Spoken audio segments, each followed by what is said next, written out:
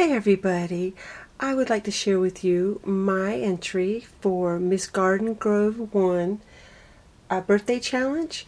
This is a camera themed entry, so this is my take on it. I used one of these balsa boxes. This one here is what I used, and I took this off and I painted it with the folk art paint all over and let it dry and then I just applied, I used the Prima tea time paper um, all over, put it all around. You can see on the back here, like that. And I thought it was really cute, like, to make this into a camera light because it's just the shape of it, like it reminded me of the older handheld cameras that we used to, um, that were available at that time many years ago. so that's what I did. I used the tea time paper. I covered the whole box with it and on the sides.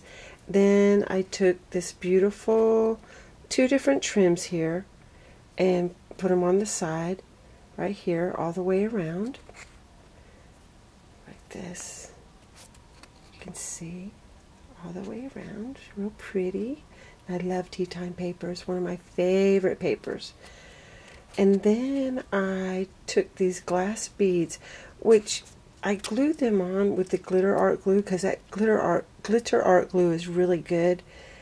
But it there it's like it's on there really good, but it, it just seems to move just a little bit. I don't know why.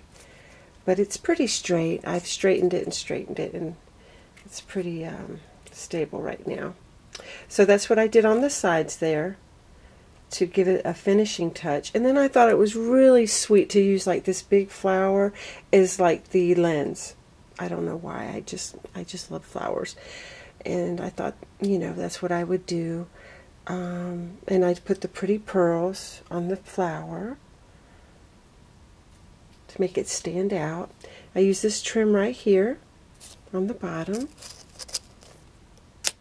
Make it pretty. There's another one there. I think it's probably closed on the inside. And then, let me see. Yeah, it is. There it is. There it is right there. And then this right here is the button we push to take a picture, and this represents the flash. so it's it's simple, but um, I hope it looks like a camera. I asked my daughters, they said it does. And then on the inside, I used a um, the magnet to give it closure, like it closes just right. So on the inside, I um, covered the magnet up with this beautiful um, applique there. Isn't that beautiful? And then I just made a sweet, sweet little name hanging. I couldn't get too carried away because it wouldn't fit inside. And um, kind of like this is the film on the inside and I just made a sweet little name banner for Annie with the tea time paper and some beautiful trim. And this right here, this trim, let me show you, um, came from her store. I absolutely love it. And I'm hoarding it, and this is all I have left. I love this trim. This is so beautiful. So, um, yeah. I used that and then I used another trim for my stash here. This was the first and then I put this trim on top. And as you can see, it's just a sweet little a name banner. This is some beautiful trim here.